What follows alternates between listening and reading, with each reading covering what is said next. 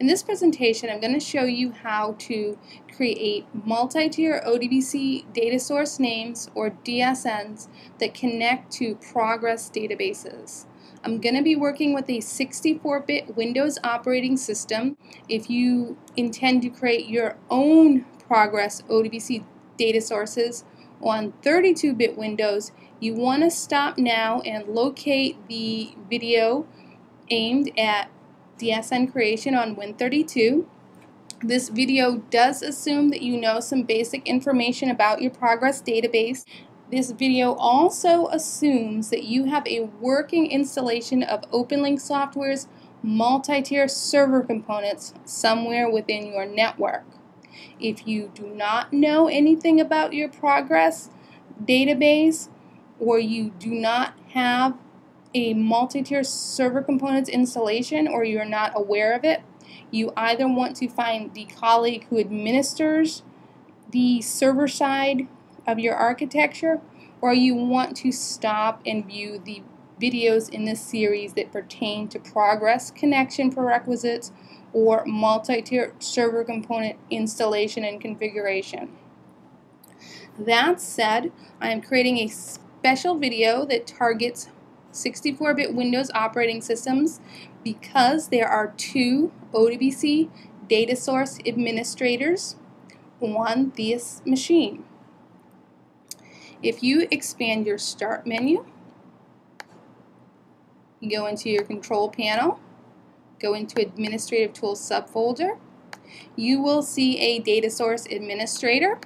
Launch that click the Drivers tab, you'll see some OpenLink drivers, some non-OpenLink drivers. All of these drivers are 64-bit products. If you use this utility to create data source names, these data sources will all use 64-bit drivers and those data sources will only be visible to 64-bit applications. If you have a 32-bit application on the machine, it will not be able to see the data source, it will not be able to use the data source. So keep that in mind.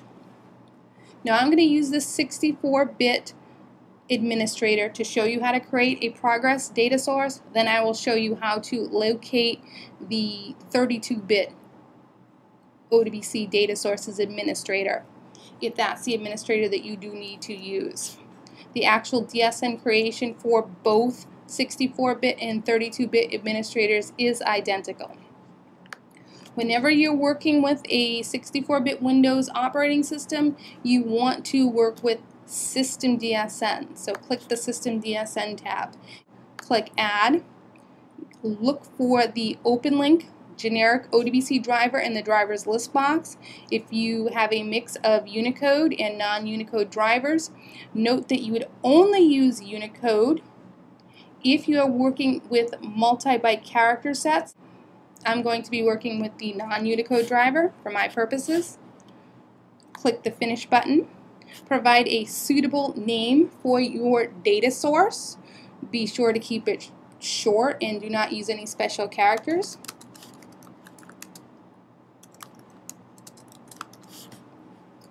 Use of description is optional. You may use that to provide some insight into the nature or purpose of your DSN.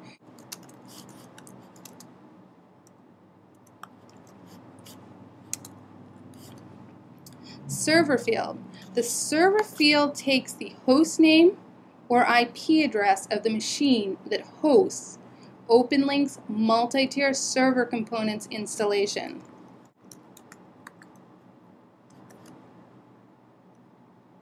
Type a colon, then type the TCP port on which the OpenLink multi-tier request broker listens. Click Next. Domain, unless you're an advanced user, the domain field takes a preset value. If you intend to connect to Progress 10, you will always type Progress with a capital P space 100 capital S capital Q, capital L. Here, case and spacing are important. You can use the associated drop-down menu for the field to check the correct value. If you were to connect to Progress 9, any Progress 9 in SQL 92 mode, you would type in Progress space 91 SQL. Here we see that in the list. If you were to establish a SQL 89 connection to any of the Progress 9 DBMSs or Progress 8 DBMSs, you would select the entry in this list that corresponds to the OpenLink database agent that's going to service your request. Now the OpenLink database agent is a server-side component. So if you're going to connect to Progress 91D in SQL 89 mode and you downloaded a Progress 91D agent, this is the value that you want to select. If you want to connect to Progress 91E and there was only a Progress 91D agent available for your operating system, you would not select Progress 91E, you would stick with Progress 91D because that's the agent that's going to service your connection. Again, we're going to select Progress Space 100 SQL. Database field. If you are working with Progress on Unix or Linux, always pass the full path to your Progress database. Include the .db extension. In some cases, if Progress is installed on Windows, you do not need to pass the complete path, you just pass the database name. DB connection options, if, you, if you're working with Progress started in sockets mode, this is where you would pass the associated socket parameters that correspond to those passed to the database at startup. Pass minus capital S followed by the progress socket service, space minus capital N, followed by a space and TCP, space minus capital H, followed by the host name on which progress is running. Next, you want to ensure that this checkbox, this connect now checkbox is checked. Pass a username associated with your progress database and an associated password. Click next. By checking that checkbox, we have instructed the driver to perform a quick test to ensure that the parameters that we have passed are valid. The fact that we have arrived at this screen indicates that those parameters are correct. There are a few remaining parameters within the DSN configuration screens. We will not address them at this time. Those parameters are aimed at servicing the needs of advanced users or users who are using the product and need to do some troubleshooting or performance tuning. So we will save those parameters for a later video. Click Next.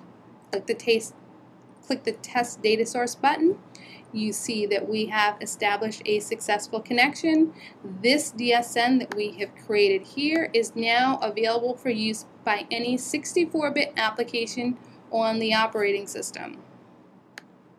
If you have 32-bit applications that need to be serviced by 32-bit ODBC drivers, you would locate the corresponding data sources administrator, go into computer, hard drive, Windows. You will find it in a folder called syswow64. The data source administrator is called ODBC AD32.